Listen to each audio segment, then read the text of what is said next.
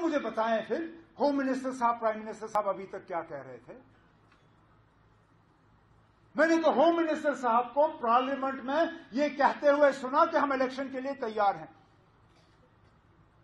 बिल्कुल, जब election commission चाहे इलेक्शन हो।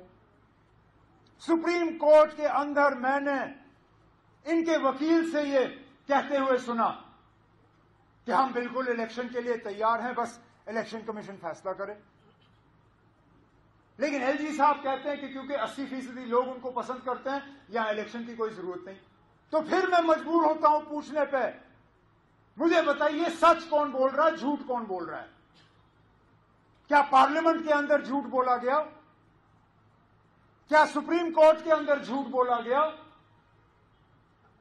या क्या फिर श्रीनगर के उस फ़ंक्शन में जज्बात में आके थोड़ी उल्टी सीधी बातें हो गई। और मैंने पिछले दिनों, मैं इसी बात पे अपनी तकरीर यहाँ खत्म कर लूँगा, मैंने पर कल श्रीनगर में मीडिया वालों से कहा।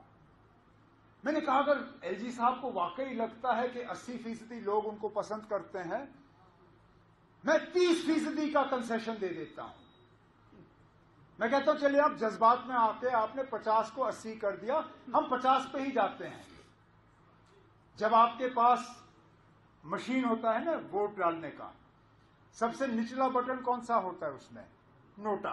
नोटा। मतलब नन ऑफ़ दी अबाव ऊपर जितने भी नाम हैं मैं इनको पसंद नहीं करता हूँ इसलिए मैं नोटा दबाऊँगा। अगर 80 फ़ीसदी लोग इलेक्शन नहीं चाहते जाएँ पोलिंग बूथ में और नोटा दबाएँ। चलिए 80 छोड़िए। मैं 50 पे ही आ जाता हूँ।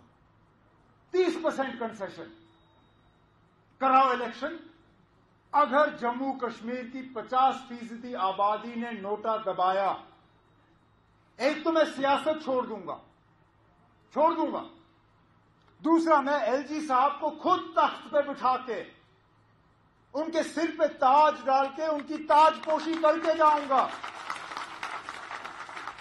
इलेक्शन कराओ, दूध का दूध, पानी का पानी।